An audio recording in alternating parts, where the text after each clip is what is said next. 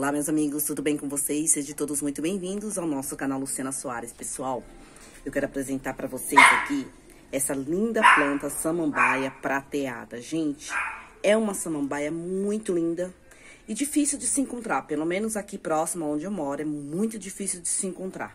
Eu adquiri essa samambaia tem mais ou menos uns três meses que eu adquiri essa coisa linda aqui, tá?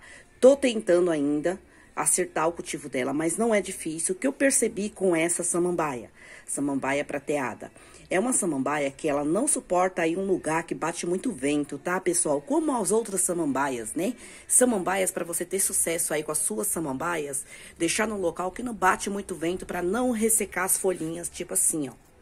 As pontinhas das folhinhas, tá? Então, a importância de vocês aí ter sucesso aí nas suas samambaias é vocês deixar num local que não bate muito aquele vento por cima delas, né?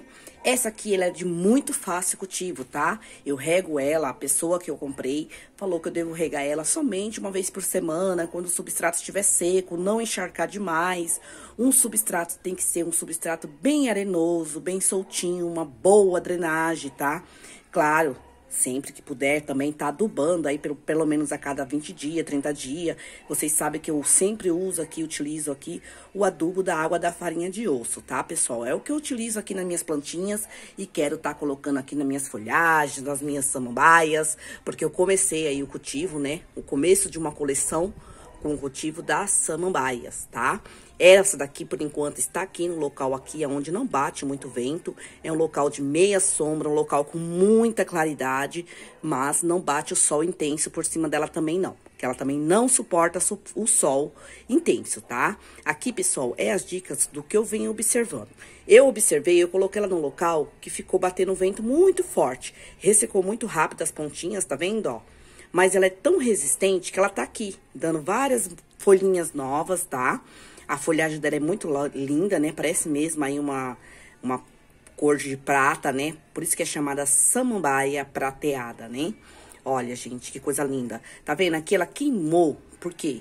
Tava batendo no local onde tava, tava batendo aquele vento forte, né?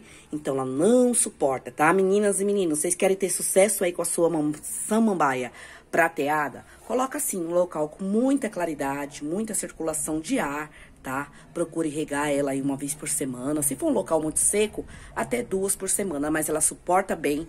Percebi que ela também é muito resistente, tá, pessoal?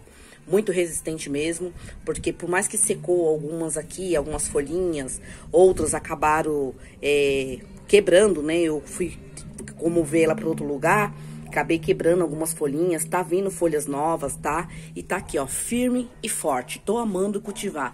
Minha experiência com essa samambaia prateada, eu estou amando. Uma samambaia de muito fácil cultivo, que fica muito lindo aí no seu ambiente para estar tá colocando aí, né, na sua garagem, na sua lavanderia, um local aí mais de meia sombra, tá, meninas e meninos? Bom, por enquanto a minha experiência é essa, eu espero que vocês tenham gostado. Conforme for passando os dias, os meses, eu venho falando mais um pouquinho sobre ela, que eu vou tentar fazer mudas também com ela. Aí eu venho falando com vocês, tá bom? Pessoal, deixa o seu like, já vai compartilhando e como eu sempre falo aqui, juntos sempre somos mais fortes. Meu muito obrigada, fiquem todos com Deus e até o nosso próximo vídeo, se Deus quiser. Beijos e tchau, tchau!